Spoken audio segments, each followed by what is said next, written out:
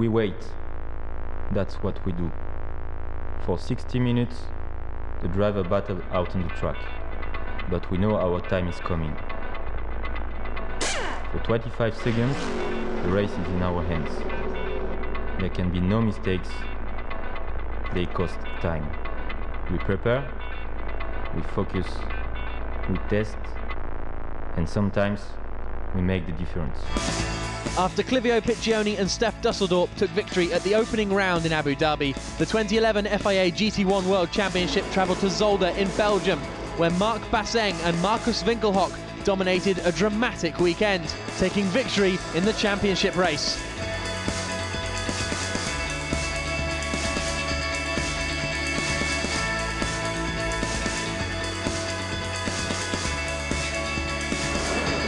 Portimao was next when Nissan began to show their strength.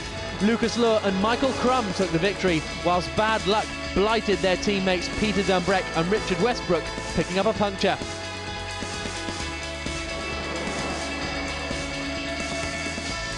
There was plenty of action at the Sachsenring in Germany, where both Swiss racing cars were eliminated on the opening lap. There were battles throughout the field, but up at the front, Marc Basseng's trip into the gravel allowed Christian Hohenadel and Andrea Piccini to take the win, with Aston Martin becoming the first brand to win for a second time in 2011.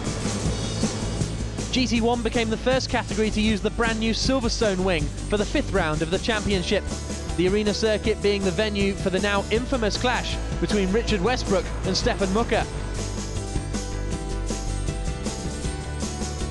After a frantic battle for the lead, Luhr and Krumm became the first double winners of the season. In Navarra, it was a championship race win for Nicky Pastorelli and Dominik Schwager under the Spanish sun.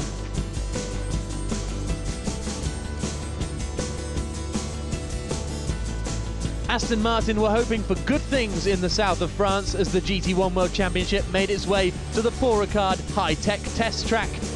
But unfortunately, after a good start, the Hexis machines almost came together, with Piccione spinning. Westbrook and Dumbreck retired with a puncture, allowing Luhr and Krumm to take control of the championship with their third win of the season. FIA GT1 then made its first visit to China at the Ordos International Circuit.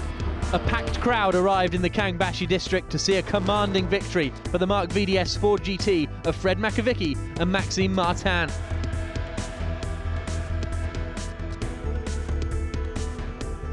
A week later, the cars were in Beijing for a street demonstration outside the 2008 Olympic Park.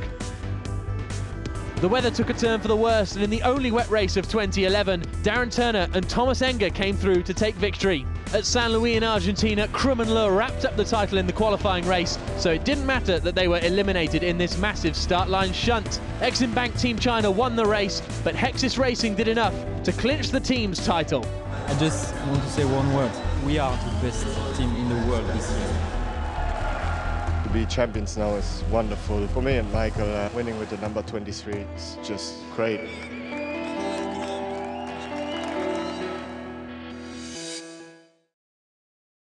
The Aston Martin brand are represented this season by Valmont Team Russia.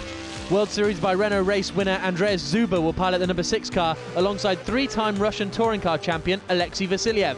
After a strong 2011 in a Marc VDS Racing Ford in FIA GT1, Maxime Martin returns this year in the second Aston, partnered by Russian single-seater racer Sergei Afanasiev. It's fantastic to be here. I represent Russia and I represent uh, my sponsors and I represent Aston Martin. I'm really glad to be in a World Championship. It's gonna be fun and we'll do our best to fight for the title. The Belgian Audi club team WRT are running a pair of R8s in 2012. The team will be running the updated LMS Ultra model with a strong driver lineup. Audi regulars Oliver Jarvis and Frank Stippler will drive the number 33, whilst Formula 3 racer Laurens Vanthoor will be joined in the 32 car by massively experienced GT racer Stefan Ortelli. For us to be here in the World Championship is really, really important. I think we have a really strong R8 car and uh, we've been winning races last year, but not at this level. I think we are strong and uh, we're going to fight to the maximum for sure. The 2010 FIA GT1 World Champions Vita4One racing team returned to the series this year with the BMW Z4. Matthias Lauda, son of three times Formula One world champion Niki, will pilot the 17 machine alongside Nicky Mayr-Melnhof. After a massively impressive GT1 debut at the final round of last season, Jelmer Buurman is back, racing the 18 car alongside team boss and 2010 drivers champion Michael Bartels. It's a nice feeling with the German brand um, BMW. It's also for me coming back home because when I started my career I was already for one year BMW factory driver and now um, running the BMW Z4 in the World Championship is something uh, with a very special feeling. The prestigious Ferrari brand is back in the top tier of GT racing, being run by AF Corse. GT3 champion Francesco Castellacci continues his association with the team, driving the number 4 458 alongside Enzo Ide. Ex-A1GP racer Filipe Salaquada will be in the number 3 car, with former FIA GT2 champion Toni Vilander alongside him. I think it's a good car, good to be in, in this championship. Uh, I've seen some uh, our opponents on action in these days, so I think it's going to be uh, tight and exciting championship. Andy Soucek and Emanuele Moncini will be running in the number 11 Sunred Ford GT as the American marque continues its association with GT1.